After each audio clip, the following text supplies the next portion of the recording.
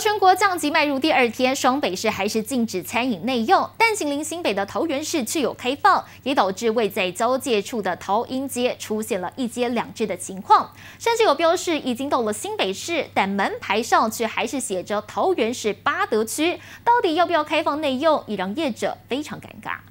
全台降级，新北市维持不开放餐饮内用，但紧邻的桃园市却可以有条件开放。实际来到新北桃园交界处，就发现店家同路不同命的尴尬情况。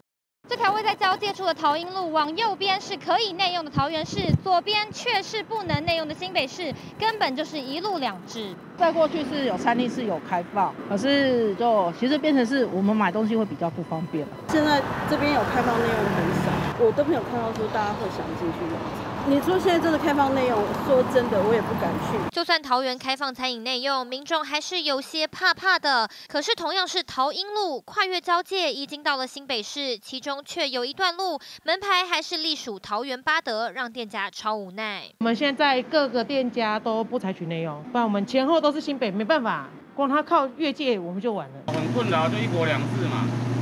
那现在基本上也不敢开放内用啊。因为我们自己也没有疫苗可以打，餐饮业者和民众都不敢冒险，干脆继续外带。降级有条件开放内用，一条街上两种规范，民众只希望疫情能快快好转，恢复正常生活。记者廖婷、张元杰、新北桃园综合报道。